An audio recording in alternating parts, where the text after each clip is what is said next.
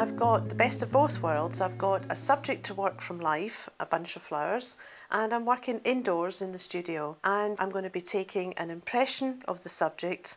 Uh, rather than doing the vase and every single flower, I'm doing just a sort of fleeting impression of the bunch of flowers and all the colours.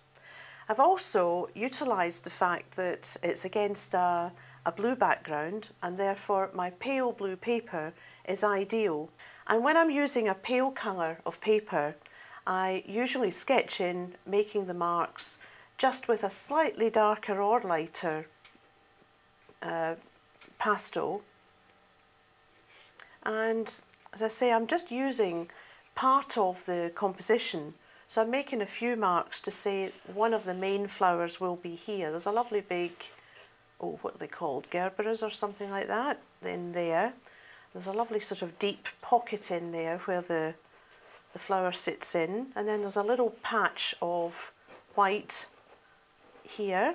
And they're in shadow because we've got lovely pinks over here as well. So they'll stretch out to here. The other feature to this one is that I'm going to dilute some of the pastel with water and get some wash effects. Remember pastel is made of basic pigment and therefore in some makes, in fact the better quality the pastel, the higher percentage of pigment it has in it and therefore it should be able to dilute with water. And the best way to practice that kind of technique is trial and error. Just try diluting your own pastels with water and see if they work. That's quite a nice format. There's this sort of bunch effect here There'll be the odd little bits of lilies popping up here and there. Right, that's enough sketching in, so I'll start to block in.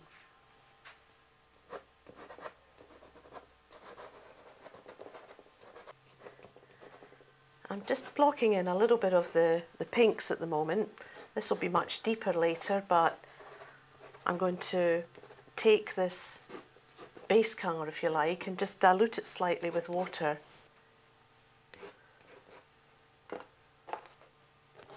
It's always a test period because if you've got a box like mine with uh, different pastels, different types of pastel, you'll find that some will be quite happy to be diluted and others will resist it slightly. But that's half the fun, just finding out. So that's going to be a fairly dark flower in here. I'll just block in with a stronger red at the moment.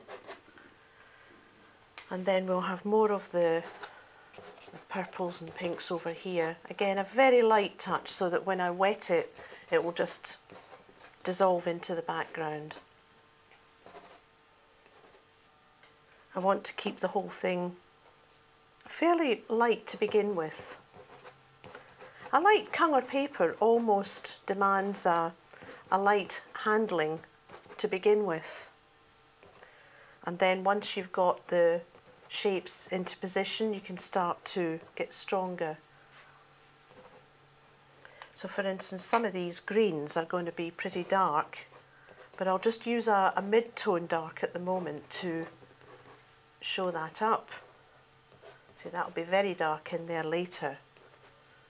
But I'm just testing things out at the moment.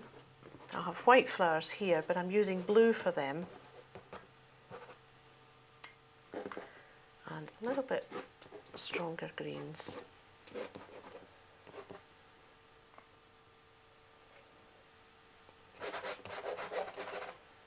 Right, this is where the fun begins because you never quite know what reaction you're going to get to the water but it's all the more exciting. The whole thing's just an impression at the moment. I'll start with the, the pinks and you'll see, oh lovely, how quite strong that colour comes out already. In fact, I can use that brush just to get little impressions of petals at this early stage. It becomes very liquid, very fluid and I think exciting. It changes pastel much more into a fluid painterly medium. And remember, it's a fairly wet brush that I'm using at the moment because if anything I I'm looking for it to slightly dilute the colour on this side, whereas here, where it's got thicker pastel, I can start to use a what I call the damp brush. The difference being that the damp brush more or less solidifies the colour and makes it more intense and the wet brush dilutes the colour. And you see how with the movement of the flat brush you can actually get some lovely quick impressions of flowers. Now before moving into another colour I'll just clean up the brush a little and go into some of these little pinks that are coming in later. These carnations will just be on the outskirts. That's melting into that. And of course this one is a dark flower and the basic colour of that, I don't mind that being fairly intense. It's a little bit square looking, but that gives me the beginnings. That's a nice exciting start to the pinks. Let's do the same with the yellows now. I'll just put a little bit more green into the whole composition before I wet that area because I always think it's the greens in a flower composition that pull the whole thing together and if you can get a pattern of them weaving and linking shapes then that becomes very effective. There's going to be dark greens in here. In fact, why not just go for it now and put a lovely bit of dark green in there because we'll see the benefit of that when we add the water. Okay, let's try some water on that now. You can see how much this actually creates a, a colour. You know, a fairly dark tone there. And I'm just using that to, that's what you've got to watch out for, just catch the drips. And if the brush is too wet, then just take the excess out with a tissue. With any watercolour technique, I've always got a tissue at the ready, ready to catch a few drips or, or even blot out colour on the actual picture.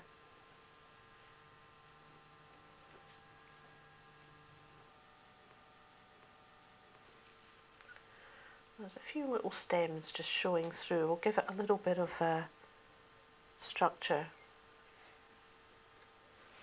And then these paler ones at the top. Again, I don't want this running through the picture, so I'm just going to take a fairly dry brush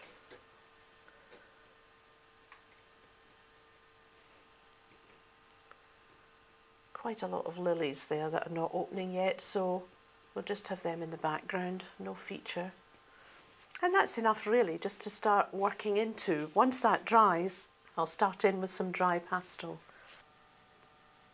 Right, I'm ready now to start working into it. It's just at that itchy finger stage where you're dying to get into it.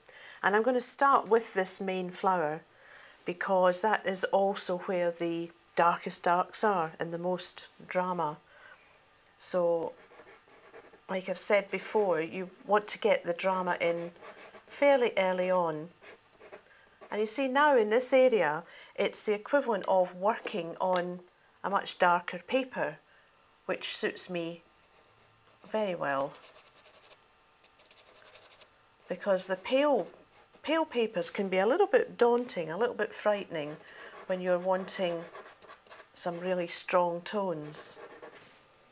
Now I'm using a little bit of dark indigo, very dark indigo there, just to underpaint because again, rather than wasting time looking for the identical shade, I'm actually putting this red on top of the indigo to get a darker red. So I'm colour mixing straight onto the, the paper.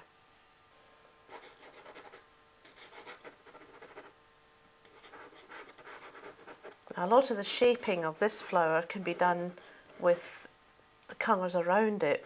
So I'm just really putting in all the, the basic shapes for now.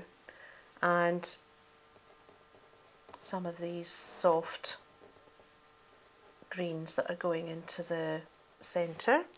and a very, very dark centre. So we'll bring some of that dark indigo back in there again. That's starting to give a little hint of the shape to come. And then I'll move out slightly to the green surrounding because I can start to shape up some of the petals that way.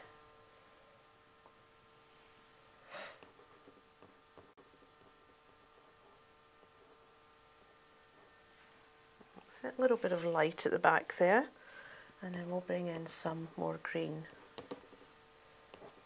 Again, when you're working from a real subject, it's very tempting to start getting into too much detail.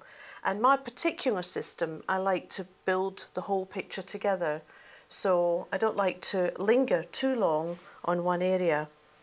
So at the moment I've built up the sort of tonal depth that the flower is going to be and I'm going to leave that for now. It's not necessarily finished, but it does give me an idea of how it's going to look and I can move on, get on with other things.